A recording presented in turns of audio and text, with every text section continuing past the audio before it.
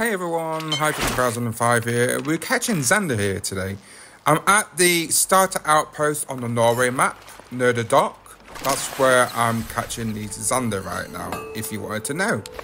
Uh, so yeah, obviously a bronze for the first one that we got.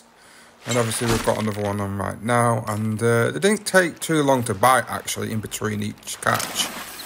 So that's a good thing. And obviously silver on this one.